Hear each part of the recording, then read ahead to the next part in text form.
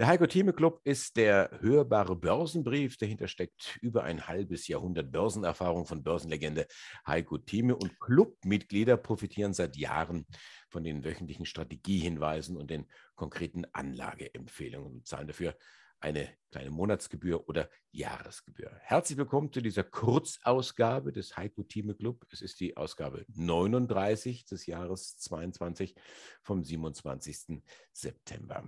Heiko, die 12.000 Punkte sind in Reichweite, also die Jahrestiefs haben wir jetzt doch nochmal gesehen. Du lagst also richtig mit deiner Prognose, fast deiner Befürchtung. War es das jetzt? Sind das jetzt die Tiefstände? Sind das die Kaufkurse? Oder kommt doch mal die Panik so richtig zurück und die Kurse purzeln doch noch?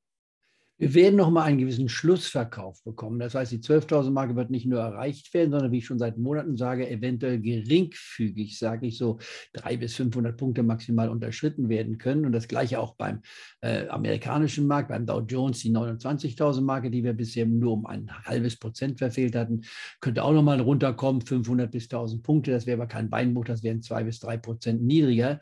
Ich gehe nicht davon aus, dass wir das, was jetzt viele sagen, auch Markttechniker, dass wir so mal einen deutlichen Rutsch haben von 20 Prozent oder mehr. Wir sind in allen Börsenindizes in einer Bessere, der Dow Jones als letzter mit einem Minus von 21 Prozent. Der Freiverkehrsmarkt, der Nasdaq-Index, der die Technologiewert hat, hat ein Minus von 34 Prozent aufgewiesen. Und irgendwo wird der Markt sich einpendeln im Schnitt so bei minus 25 bis maximal 30 Prozent. Und damit können wir leben. In anderen Worten, auf deine Frage, ja, wir sind in der Nähe der Tiefstände und wer jetzt noch zögert, wer auf vollen Bargeldpositionen sitzt, der sollte anfangen zu investieren. Wer schon angefangen hat zu etwas höheren Kursen, um die 13.000 beim DAX zum Beispiel, gar kein Beinbruch, da kommt ja meine Drei-Tranchen-Strategie voll zur Wirkung. Man kauft sich in gemäßigten und genügenden Abständen in drei Tranchen ein und dann muss man auch abwarten. Geklingelt wird an der Börse bekanntlich nie. Es wird nie gesagt, jetzt einsteigen. Die Angstphase ist selten so ausgeprägt wie jetzt. Es gab noch mal etwas höhere Zeiten, aber die Angst ist vorhanden, nicht wahr? Die Bargeldposition der Fondsmanager ist übrigens eine der höchsten, die wir in der Geschichte der Börse hatten. Und das deutet alles darauf hin, dass wir in den nächsten ein bis drei Monaten spätestens die Tiefstände gesehen haben werden. Und am Jahresende stehen wir wahrscheinlich höher da als heute. Aber nicht auf dem Niveau, wo wir zu Jahresanfang waren. Dieses Niveau werden wir wahrscheinlich erst im Jahr 2024 wiedersehen.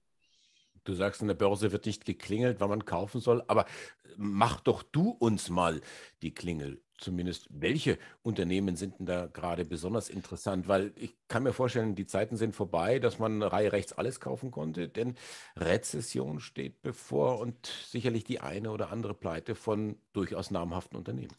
Gut, aber ich glaube nicht ein äh, DAX-Unternehmen wird pleite gehen. Das sehe ich zurzeit nicht. Ich äh, würde also auch, äh, ich werde die im DAX-Index gefallen sind, zwischen 60 bis 80 Prozent stehen auf meiner Liste. Und dann ist es eine Frage, Zalando zum Beispiel. Ich war unter 20, äh, ist meines Erachtens ein Kandidat, bin auch risikobar, wo man mal einen halben Prozent investieren kann. Aber man muss immer wieder wissen, die Hälfte meines Portfolio-Vorschlages liegt ja auf den ETFs im DAX mit bis 15 Prozent in drei Tranchen von jeweils 5 Prozent. Dann in Amerika beim, äh, nicht beim Dow Jones, sondern beim Standard Poor's 500 Index auch in drei Tranchen. Warum der Standard Poor's 500 Index? Bildet 85 Prozent der amerikanischen Wirtschaft äh, äh, wieder und das ist für mich interessant. Dann China übrigens auch mit bis zu 5 Prozent, wo man jetzt aktuell mit anderthalb Prozent anfangen kann. In einem Exchange-Traded Fonds, der übrigens von der DWS-Gruppe herausgebracht wird mit einem Kostensatz von 0,2 Prozent, also äußerst preisgünstig ist. Und dann natürlich auch den japanischen Markt, den man, wenn man hierbei mitsehen kann. Das ist auch eine Sache, die man sehen muss. Also das sind also die Chancen, die ich hierbei erkenne. Und äh, dann die nächste Sache, Gold zur Beimischung etwas. Barrick Gold hatten wir ja auch diskutiert. Aber im DAX-Index selbst mal ganz klar genommen, Fresenius Muttergesellschaft um 20 Euro wird verschenkt. Es gibt dann kleine Spezialitäten, die ich auch bei mir in der täglichen Marktprognose nenne. Es gibt einen Wert zum Beispiel, der 16 Prozent Dividendenrendite zahlt. Das ist dann für diejenigen, die auch ein bisschen äh, wir, risikobereit sind, aber auch mal wertbeständiges kaufen wollen. In anderen Worten, ich habe zurzeit mehr Kaufempfehlungen, als ich in den letzten Vergleich in den letzten Monaten habe, trotz der noch bestehenden Risiken. Und die geopolitische Lage bleibt natürlich mit Fragezeichen belegt. Aber wir geben nicht auf. Russland wird nicht die Welt beherrschen, das muss man ganz klar sagen, sondern ich hoffe, die EU wird zusammenhalten und wird den Menschen zeigen, dass Demokratie wichtiger und erfolgreicher ist als eine Diktatur.